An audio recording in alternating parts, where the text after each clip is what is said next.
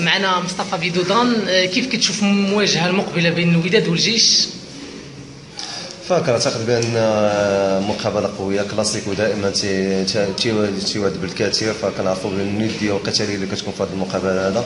كنعتقد بأن فريق الوداد في أحسن الحالات ديالو فيعني بعد آه، آه، الفوز ديالو على فريق الرجاء البيضاوي فكنعتقد بأنه اللاعبين كلهم دابا ولاو حاسين بالمسؤولية وعارف شنو تابعهم ولا هو يعني أنا كنقولها وتفرج في جميع المقابلات بأن الوداد هذا العام هذا غادي يكون غادي يقولوا الكلمة ديالهم إلا ما إلا ما كانش واحد الغرور منهم.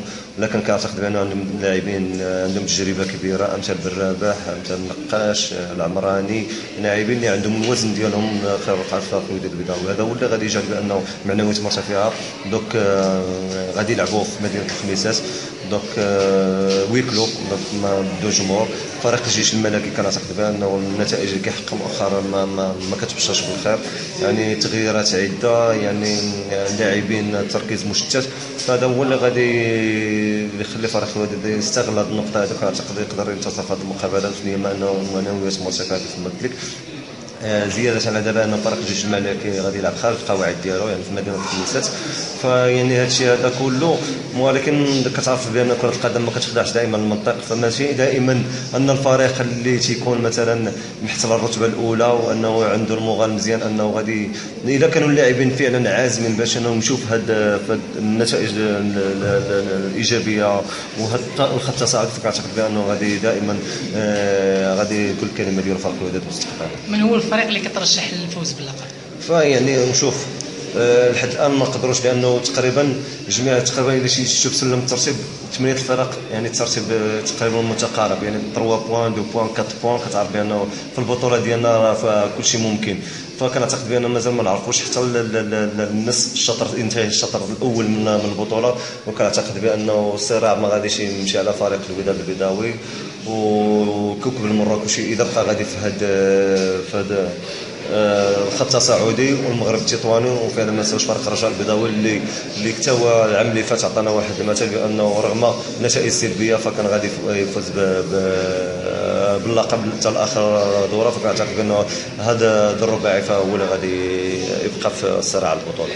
الجديد ديال مصطفى بيدو فالجديد ديالي دابا أنا كنخدع الدوره التكوينيه يعني رخصة باء آه، معهد مولاي رشيد مع حرمة الله و الطاقم التقني ديالهم منهم خالد خالد موحد معهم آه، عمر ديال طنجة عنده معهم يعني أطر اللي صراحة حامد الورقة. الناس اللي عندهم تجربة وتجربه طويلة في هذا الميدان هذا. فصراحة الأسبوع الماضي كان داز واحد 16 تلاقينا بلاعبين يعني اللي مش اللي ما شفناهمش لاعبين اللي اللي لعبوا في الهونيفو يعني امثال القرقوري امثال حسن ناظر السفري بن شريفه والقائمة طويلة. آه، فكنعتقد بأنه هذا الشيء اللي خاص كرة القدم الوطنية أنه اللاعبين اللي دوزوا في أعلى المستويات فهم اللي خصهم أنهم يتقدموا باش ياخذوا هذه الرخصة اللي تسهل لهم أنهم آه، يمشوا في المدى في ميدان التدريب وكنعتقد بانه مستقبل الكرة الوطنية لا خوف عليه في ظل الاهتمام بهذه الأطر هذو اللي صراحة يعني لاعبين كبار آه، دوزوا الحق ديالهم في الكرة فلازم أن الكرة الوطنية تستافد منهم. وهذا هو التكوين اللي داخله فيه الجامعة بأنه اللاعبين لي بروفيسيونيل فهما اللي عندهم الأولوية. أما الناس اللي مثلا آه، كتشوف لنا ستاج ميلونج بين اللاعبين المحترفين واللاعبين اللي يلعبوا هنا مثلا في المغرب وداو القاب وكاينين الناس اللي, اللي ما نقولش ما عندهمش علاقه بكره القدم كيبغيو الكره لكن آه، كيكونوا خدامين في شركات أساتذة ديال الرياضة.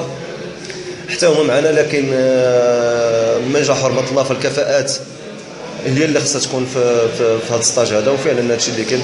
رغم أنه كاين بعض المشاكل لكن كنعتقد بأنه طاقم محترف في المستوى كنعرفوا الدكتور حرمة الله فيعني من الثمانينات هو يعني تبارك الله يعني prof. كنشوفوا أنه شنو دار في قطر.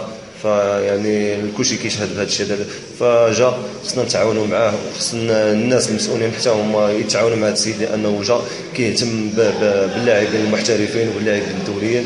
فما علينا حنا إلا أننا نكونوا معاه قلبا وقالبا باش أنه يمشي في المشروع ديالو لأنه في صالح كرة القدم الوطنيه. مسيره التواجد بقدودان بنادي الوداد الرياضي؟ وكيف كيفاش شفتي دير به؟ فما كاين حتى شي سر سر واجد نشوف الأصدقاء ديالي اللي بشحال مشون كاين من رابح العمراني رابح.